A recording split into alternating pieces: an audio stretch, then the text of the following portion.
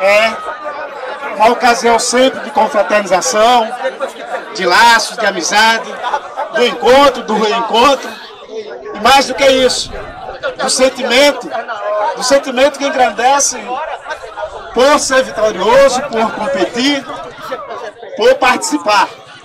Todos os atletas, todas as equipes que estão aqui, desde quarto lugar, terceiro, o vice-campeão, a equipe campeã, todos são vencedores.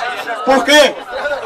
Presentes na nossa cidade, fortalecendo o espírito esportivo, fortalecendo o espírito de unidade, porque, como você bem frisou, o campeonato é uma oportunidade do encontro de regiões, do encontro de comunidades. E que oportunidade maravilhosa é essa?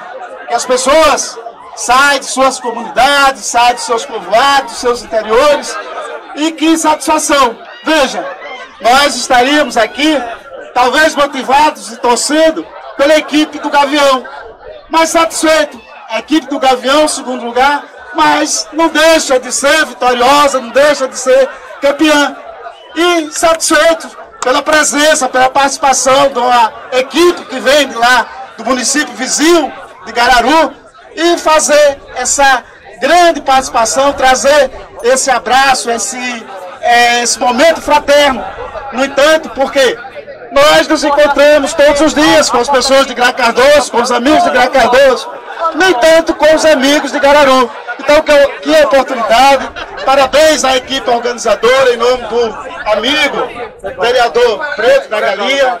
Parabéns a todos os demais envolvidos, eu sei, como Melengo e outros esportistas. Parabéns você, Ademo, que é um incentivador a, essas, a esses eventos. É um grande lutador pelo esporte.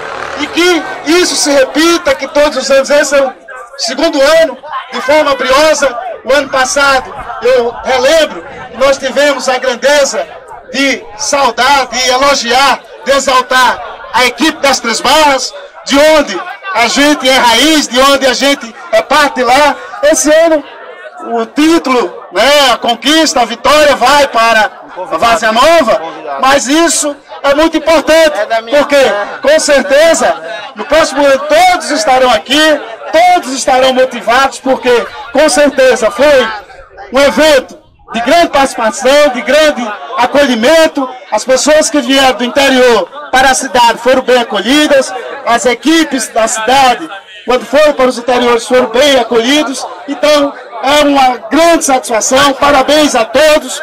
Obrigado pela participação, obrigado pelo espírito desportista. Obrigado, professor Del.